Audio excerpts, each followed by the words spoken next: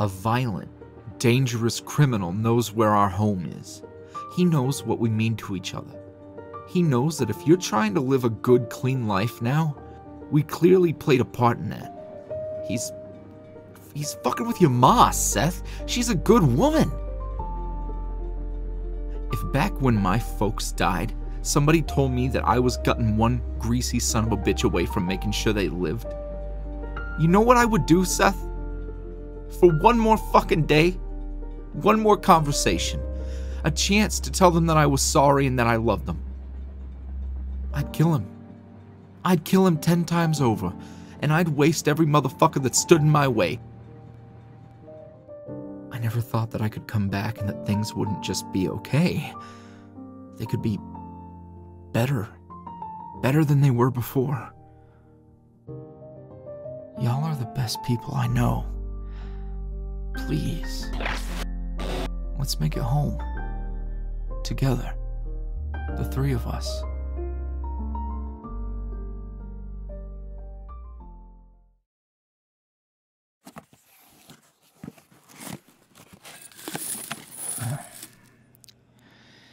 Um. Oh. Sorry. Uh, I was in my nowhere place. Wondering what kind of psychopath invented glitter. That, and, um. sort of wishing we had a normal Christmas. Oh. Nah. I know it ain't nobody's fault. At least not the three of us. All things considered, we were having a pretty sweet Christmas, actually. Then, well, there it went. It's okay. There'll be more Christmases and a bunch of other holidays too. I'm not sweating it. Just getting over myself. I'll be fine. What about you, Boo? You, uh, you doing all right?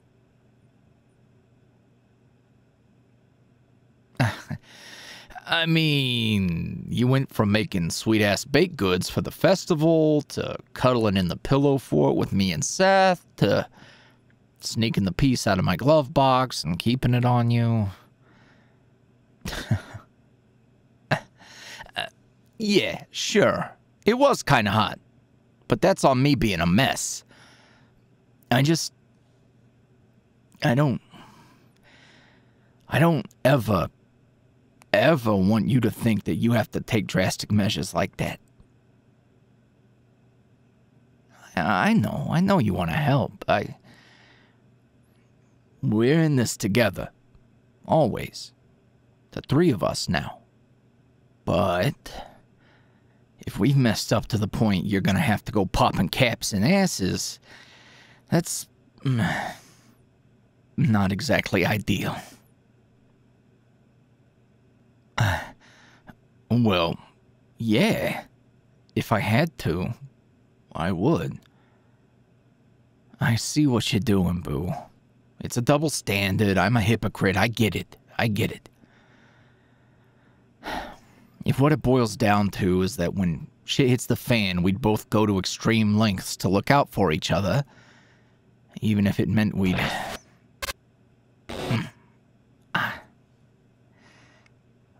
Sorry. Uh, head still feeling, uh, rough. Stress migraines or something. I think I was so freaked out about what could happen, it's giving me a headache. You too? Damn, babe. Trauma will do that to you. We'll work through it, and we'll be fine. As much as the past has kicked my ass. Look at us, right?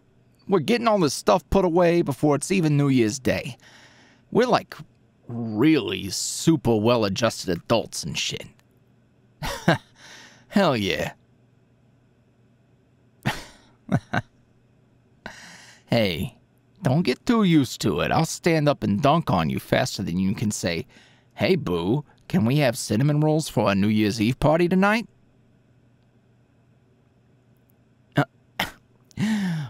What do you mean that's not the saying? I'm pretty sure that's what everybody says. It's like a whole thing. Heard it when I was a kid.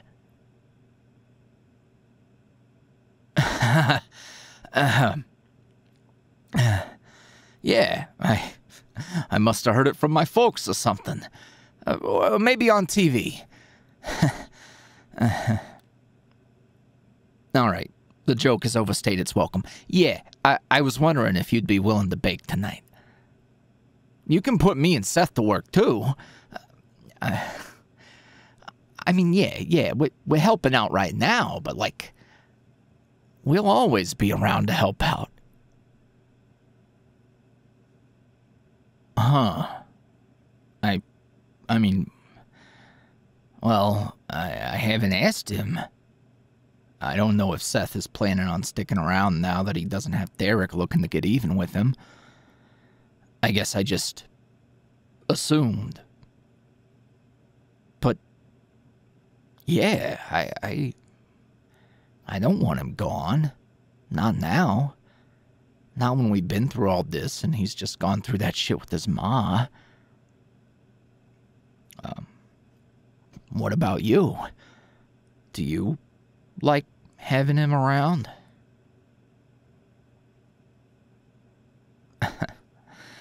yeah, I figured you didn't hate his guts or anything, Jolene. He's soft on you, too. Reckon he sees the same wonderful, beautiful, sweet cheeks that I do. And you've been a good influence on him, rehabilitating a sad little country boy. Sounds like a Hallmark movie. Yeah, well, we're probably too gay for Hallmark, but we'll shop it around and see how it goes. ah. What? Oh, yeah, I'm. I'm good, Boo. Seriously.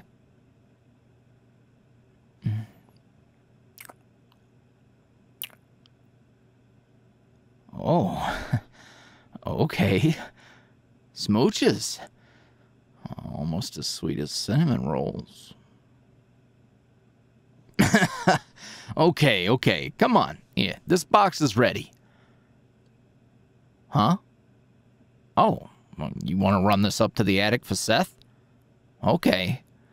Just tell him to quit slacking. It ain't that damn dusty up there. He's probably just goofing off. I'll get the rest of this cleaned up. Oh, hey. Here, let me snag that from you. There can't be too much left now, huh? Yeah, go figure. Working together makes things easier. Who'd have thought? hey, uh, I, uh, I hope that next year you don't have to go on some kind of, uh, dangerous wild goose chase. Or mom chase in this particular case. well, there's only so many times some greasy douchebag can surprise you with a lock of your ma's hair, right? It would be really strange if it happened twice. And I don't think I'd fall for it again. Hopefully. oh, she can handle herself. And I think I'd rather just do some regular old holiday celebrating next time around. Oh, I I know. I just wanted to say sorry again. And I promise I'm not actually up here slacking. I just thought maybe um you two might appreciate me being out of your hair for a little bit. That and it was a mess in here, so I did some tidying and organizing and whatnot. Oh, you're sweet. I, I know. I know, sugar, but Also, sometimes it's nice to have a little one on one. And I just. I don't want y'all to feel like I'm overstaying my welcome or in the way.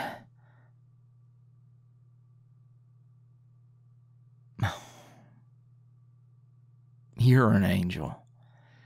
Hey, being here with the both of you has been good for me too. Now that you've had a chance to see what my family's really like, well, you know I mean it when I say there isn't really anywhere else that feels like home to me. This is the closest thing I've had to feeling like I'm with people I belong with since. Hell. Um, since the last time I was in this house, I guess. Uh. Uh. Huh? You don't. Er. Mmm. Oh. Oh, hell. See, this is the kind of meddling that I was trying to avoid. You never. You never dug through any of these boxes up here? The ones that were left behind from the. the previous owners? okay, that's fair. There could have been some weird shit in there. Or boring stuff like bits and bobs for the water heater or something. Or some keepsakes a certain taffy eating loser left behind. If I knew he hadn't told you, I wouldn't have said shit. This house of yours, I. I guess Al must have put it on the market after his folks passed since he could just stay in the little apartment attached to the shop. So. Here. Yeah. That's us, right out front. I imagine he didn't want to tell you because, well, a lot of reasons. He'd have to think about his folks. He'd have to think about me. And he'd have to remember a lot of stuff that's probably easier to forget. But he's happy here, with you. You make him feel safe enough to come make new memories in a place where he probably thought he'd never get to make memories again. And that's. that's really beautiful. There's a whole lot about you that's like that. Oh, please, you know what I mean. You have that power. You like nurture things, heal things. That's beautiful. And not not to discount your uh, literal, uh, physical beauty and stuff. That's definitely a thing too. I just didn't mean that in this particular instance.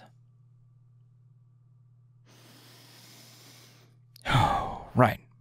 Okay, yeah. I just didn't want you to think I was, you, you know, uh, boundaries. Mm. Mm-hmm. Yep. Gotcha.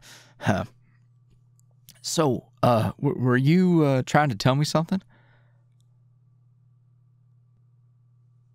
Plans for tonight? You mean me? The one who ain't got nowhere else to be? Oh, yeah. Lots of, a bunch of big plans. Uh, probably gonna take the bike out for a spin. Oh. Well, uh, I was gonna go out with the gang and. Oh.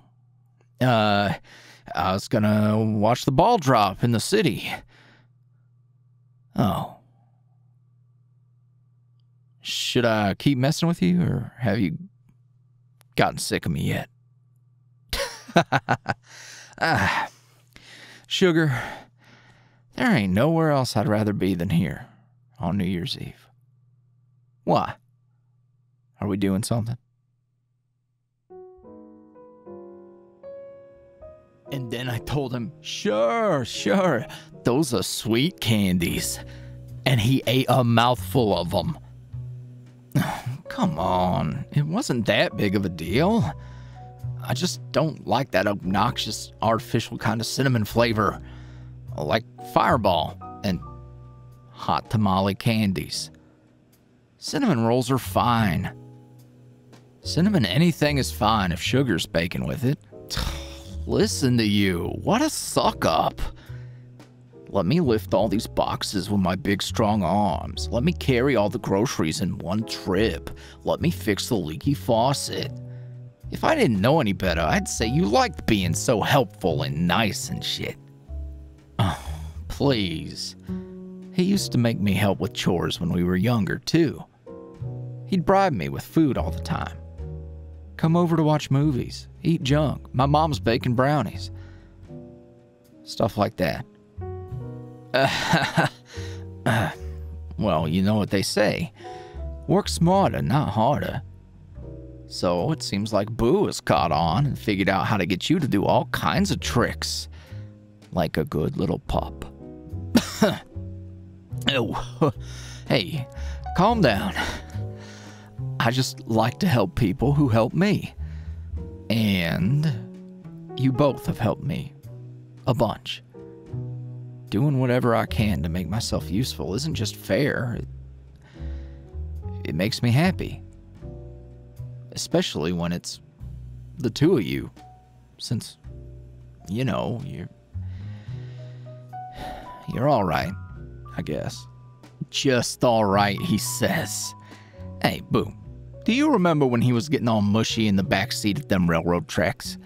And we were all awkwardly hugging as if we weren't dying to figure out how that was supposed to work?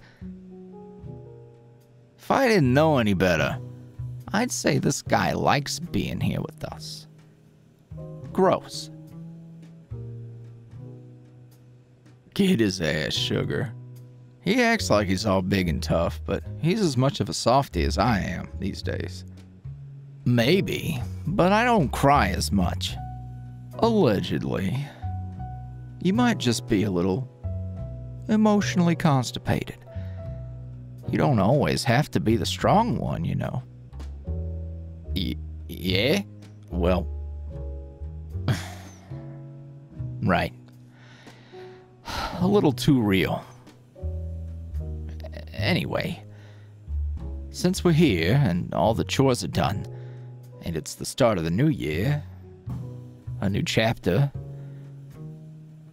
what's next? Uh, wow. So the emotional constipation was too real, but now we're talking about life? uh, well, well, I don't mean like what's your five year plan or anything like that. But the last time we were all here at this table with a massive cinnamon roll, she was a lot different. I'm not gonna tell you to get lost this time. Yeah, a lot has changed, huh? Well, I, I wasn't sure when would be a good time to bring it up, but it seems like now is about as good a time as any.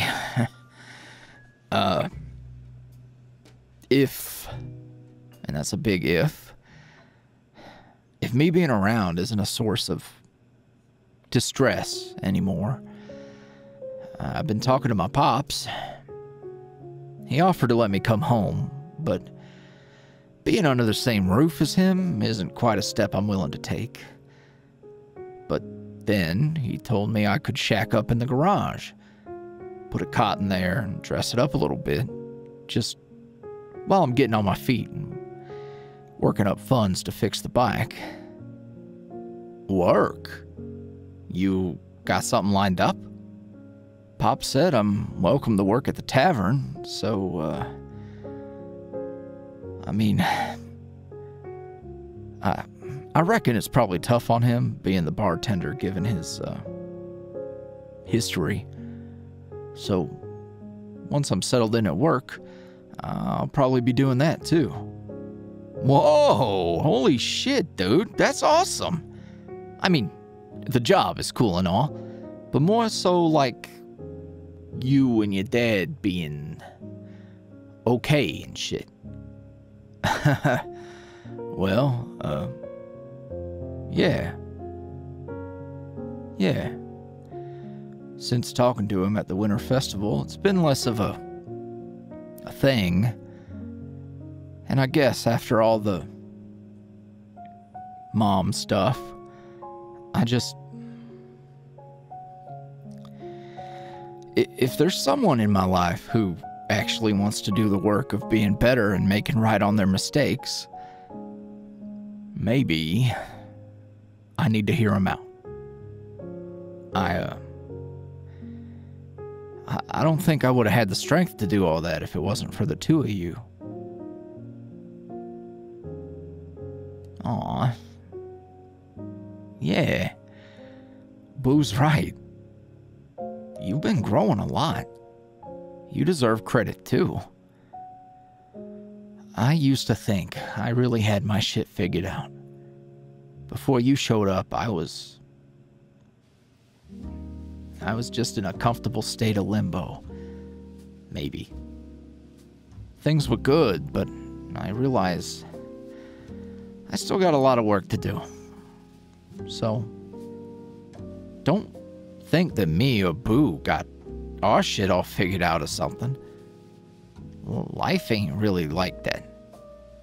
We take it as it comes and we do what we can. And if there's room to grow, we make our choices and we see what happens. And seeing what's happened with you is real nice, man. Thanks. Both of you. I, uh. Hmm. Oh, yeah, he's about to say something sweet. He's doing the thing. Ugh. Asshole. I, I just wanted to say this past year has been really tough in a lot of ways. But this past month with y'all has been the nicest, warmest time. There's a, lot of hope I thought I'd lost, but uh, I found a whole lot more than I ever thought I'd have. Thanks to the love that y'all show me, I might be able to I might be able to love like that too. I might be able to live a life I thought was out of my reach. So, what's my plan? My plan is just to to live.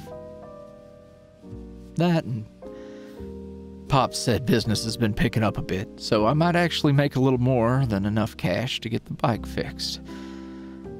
And uh that's all I really need. Hey, you can't just sweep all that mush under the rug, you loser. But he ain't lying. The, the city folk are starting to realize we make for a nice little weekend retreat. I think up in the hills there's been a bunch of rentals put up. So I get people showing up to the shop to get supplies and shit. Which is great because I don't talk about it much, but literally I'm broke as hell and would have been out of business if I uh, didn't have a little bit saved up. Legally. Legally earned. Taxed and everything. yeah, if you say so. I do say so. Also, I say, you assholes better bring it in for a big group hug, because I fucking love y'all.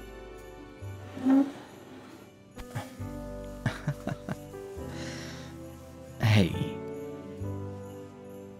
we made it.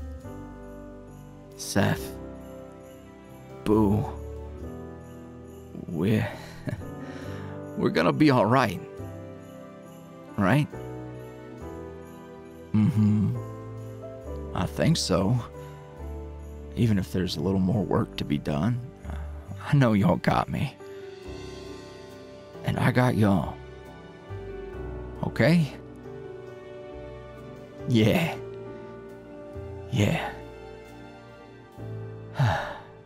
oh, uh, shit. I think we missed the countdown. Happy New Year, you two. Let's do this again. All right. I'll hold you to it. So long as there's going to be cinnamon rolls again.